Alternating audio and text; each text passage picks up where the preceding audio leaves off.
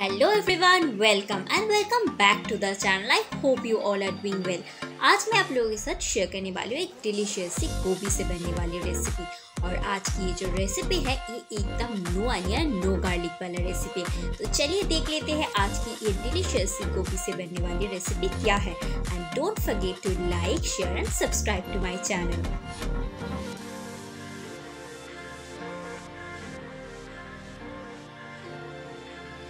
इस रेसिपी के लिए मैंने एक पूरा गोभी लिया हुआ है अब इस गोभी को कट करेंगे। ये जो गोभी के फूल है, इसको मैं मीडियम पीसेस में कट कर लूँगी। एक पीस को मैंने कट कर लिया है। अब इस पीस के जो नीचे का जो हिस्सा है, उसमें से भी मैं बीच में से एक कट लगा रही हूँ। ऐसे ही बाकी के जो पीसेस हैं, उसको कट कर लेंगे। गोभी को मैंने ऐसे पीसेस में कट कर लिया है, अब इसको अच्छे से वॉश कर लेंगे। यहाँ पे एक कढ़ाई में मैंने पानी को गर्म कर लिया है। अब इसमें ऐड कर दूँगी थोड़ा सा सॉल्ट और ऐड कर दूँगी गोभी के पीसेस इन गोभी को इस गर्म पानी में दो मिनट के लिए बॉईल करना है। ज़्यादा नहीं बॉईल करना है, सिर्फ़ दो ही मिनट के लिए इसको बॉईल कर लेंगे। दो मिनट के लिए गोभी को बॉईल कर लिया है। अब इसको पानी से निकाल लेंगे। एक मसाला प्रिपेयर करना है। उसके लिए मैंने यहाँ पे एक मिक्सिंग जार ले लिया है। इसमें अब डाल दूँगी two teaspoon poppy seed two teaspoon melon seed जिसको मैंने थोड़ा सा पानी में सूख करके रखा था।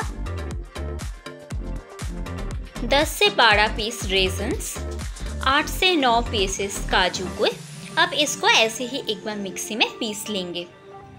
इसको मैंने मिक्सी में पीस लिया है। अब इसमें ही मैं ऐड कर दूँगी दो ग्रीन चिलीज़ और साथ में इसमें ऐड कर दूँगी टू टेबल स्पून मिल्क आप लोग इसमें पानी का भी इस्तेमाल कर सकते हैं। अब इसका एक स्मूथ सा पेस्ट तैयार कर लेंगे। गोभी के पीसेस को फ्राई करने के लिए मैंने यहाँ पे तेल गरम कर लिया है। अब मैं इसमें ऐड कर रही हूँ बॉयल गोभी के पीसेस इन गोभी के पीसेस को मीडियम फ्लेम पे हल्का ब्राउन कलर आने तक फ्राई करना है।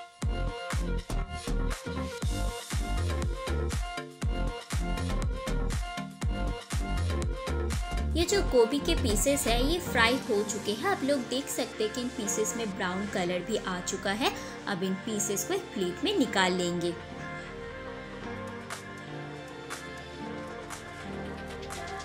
सेम ही कढ़ाई में मैं फिर से one tablespoon oil add कर दूँगी और साथ में ऐड कर दूँगी थोड़ा सा घी।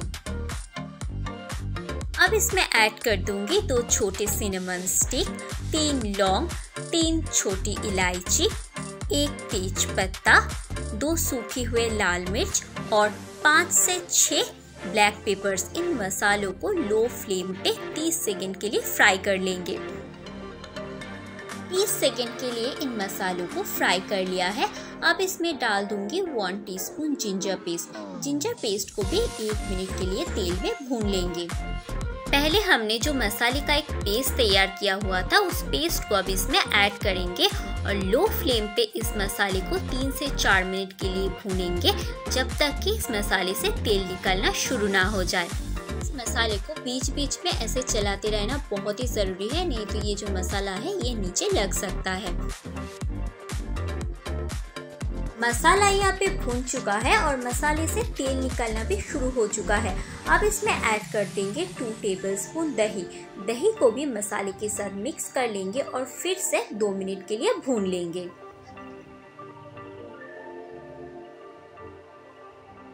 अब इसमें ऐड कर दूँगी सॉल्ट जब मैंने गोभी को बॉईल किया था, तब भी थोड़ा सा सॉल्ट का इस्तेमाल किया हुआ था तो उसी को ध्यान में रखते हुए यहाँ पे सॉल्ट को ऐड करना है।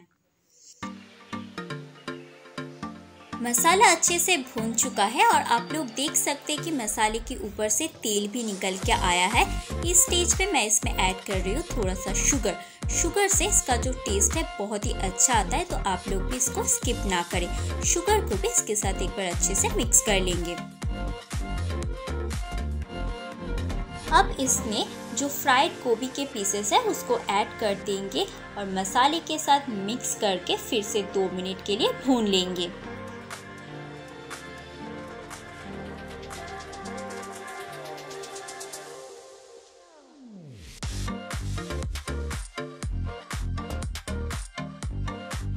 अब इसमें ऐड कर दूँगी थोड़ा सा red chili powder red chili powder से इसमें बहुत ही अच्छा सा कलर आएगा। अब इसको फिर से एक बार मिक्स कर लेंगे।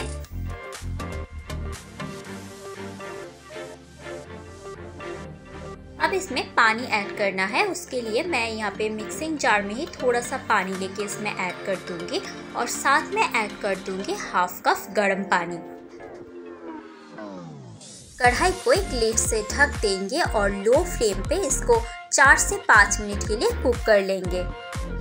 चार मिनट हो चुके हैं, अब कढ़ाई के ऊपर से लीड को हटा देंगे। इसमें जितना पानी था वो ऑलमोस्ट सूख ही गया है और ये बहुत ही ज़्यादा गाढ़ी भी बन चुकी है। एक बार मैं इसको मिक्स कर रही हूँ। अब मैं इसमें डाल दूँगी थोड़ा सा गरम मसाला पाउडर अब इसमें ऐड कर दूँगी one and half teaspoon rose water one and half teaspoon kewra water और ये बहुत ही ज़्यादा गाढ़ा बन चुका है, इसलिए मैं और थोड़ा सा गर्म पानी इसमें ऐड कर रही हूँ। अब इसको एक बार मिक्स कर लेंगे और फिर से कढ़ाई को एक लीड से ढक के एकदम लो फ्लेम पे तीन से चार मिनट के लिए फिर से इसको कुक कर लेंगे। चार मिनट हो चुके हैं। अब कढ़ाई के ऊपर से मैं लिड को हटा रही हूँ और तैयार है हमारी आज की रेसिपी अब गैस को ऑफ़ कर देंगे और इसको सर्व कर लेंगे।